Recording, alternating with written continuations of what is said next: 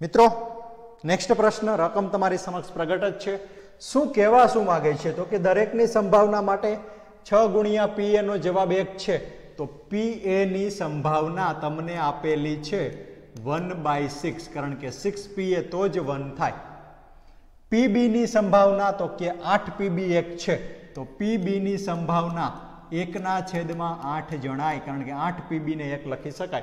અને છેલ્લું પી એ ઇન્ટરસેક્શન બી એ છેદગણ બી ગુણ્યા ચૌદ એટલે એક થાય તો એકના છેદમાં ચૌદ એની સંભાવના છે. પ્રશ્ન તમારો આવો છે કે પી એ ડેશ બાય બી મેળવો એટલે કે બી આપેલ હોય ત્યારે એ ન ઉદ્ભવવાની સંભાવના. તો સંભાવના માટે નિયમ છે જ એ ડેશ છેદ બી ના છેદમાં પીબી સૂત્ર ગુણાકારનો નિયમ શરતી સંભાવનાનું પ્રમેય. ઓકે ડેશવાળાને દૂર કરવો હોય તો પીબી જે ડેશ નથી, ઈ પહેલાં માઇનસ ડેશવાળા સાથે એનો છેદગણ, એ છેદ બી અને છેદમાં છે પીબી તો પ્રશ્ન પૂરો થઈ જાય ભાઈ. દરેકની સંભાવના તમારી સમક્ષ પ્રગટ જ છે.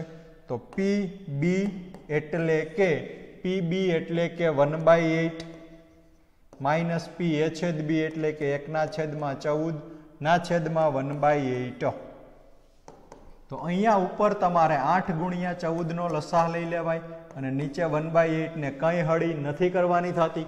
ચૌદમાંથી આઠ ઉપર વધે, ચૌદ માઇનસ આઠ વધે એમાં ભાઈ આઠ તો ઉડી જાય. ઓકે તો હવે તમારા પ્રશ્નનો એન્ડ કંઈક એવો રહેશે કે વન ચૌદમાંથી આઠ, તો કે છ ના છેદમાં ચૌદ. પણ છ ના છેદમાં ચૌદ એટલે બે ગુણ્યા ત્રણના છેદમાં બે ગુણ્યા સાત. અરે મારા ભાઈ, એમ કયો ને કે ત્રણના છેદમાં સાત, તો તમારા પ્રશ્નનો આન્સર ત્રણના છેદમાં સાત, જે ઓપ્શન નંબર ડી રહેશે.